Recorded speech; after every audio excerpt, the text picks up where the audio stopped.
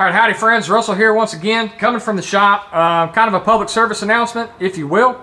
Uh, today we're going to talk about motor oil, and specifically we're going to talk about some high zinc motor oils um, that if you're not, if you've got a, an older vehicle, uh, you know, say pre-95 or so, and you're not using one of these high zinc motor oils, uh, you're probably doing some detrimental damage to your engine. So we're going to talk a little bit about that real quick.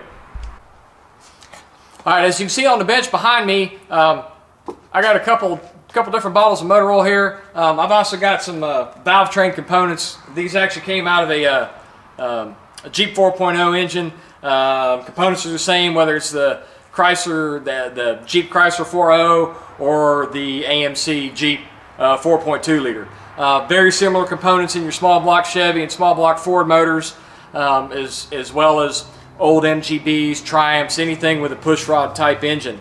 Uh, now some of what we're going to talk about today uh, also applies to older overhead camshaft motors. Um, for instance, you know, some older Porsche engines, um, older Datsun engines, um, etc. So zinc, specifically zinc diphosphor or ZDDP.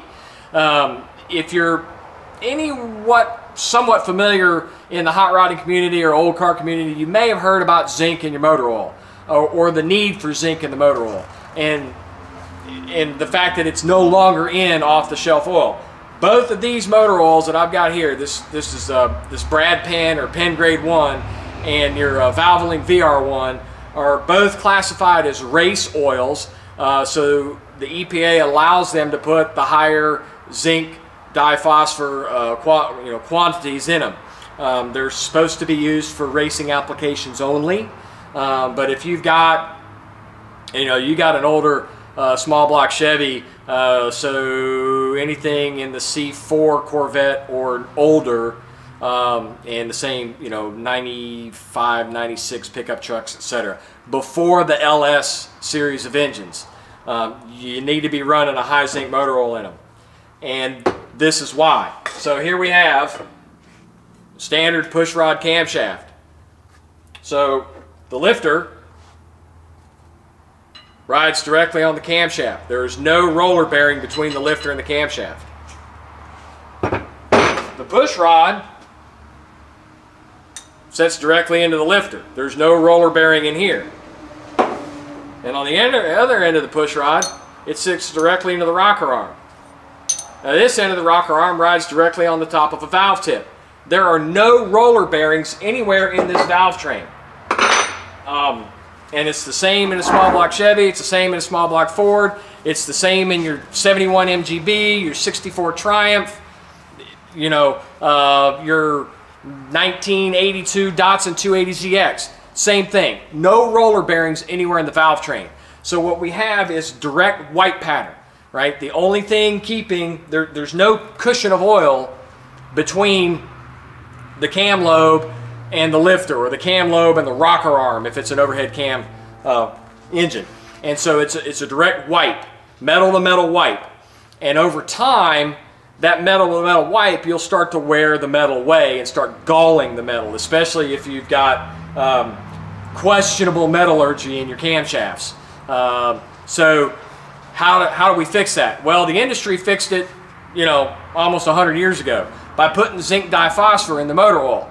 It ends up chemically bonding uh, to the metals and, and creates kind of a, a shear cushion, if you will, between the two metals. So when that cam lobe wipes the rocker arm or it wipes the lifter, it wipes that, that zinc diphosphor off. And then when you know the oil splashes back on, it resettles.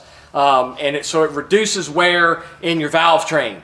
Um, so what happens if you run, say, stand, you know, you got a Datsun 240Z and you're gonna, you're just gonna run standard Castrol 10W30. Well, if the motor's never been rebuilt and it's all the original components, uh, you'll probably get away with it for a while.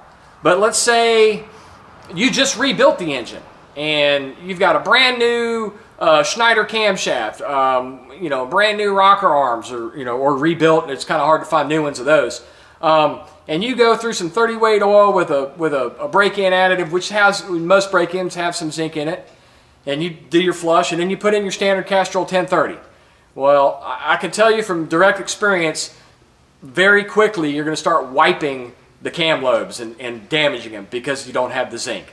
Um, so, you know, like I said before, these two products here, uh, the Brad Penn oil, I think it's sold now as Penn Grade 1.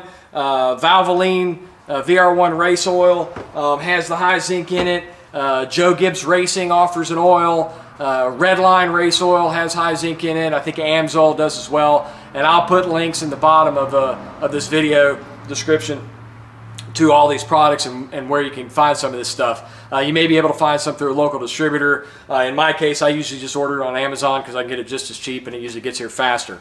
Um, and that's all I got for now. Uh, like I said, and I'll, I'll, say it again, if you've got an old motor, uh, an old design, and when I say old design, I'm like pre-OBD2.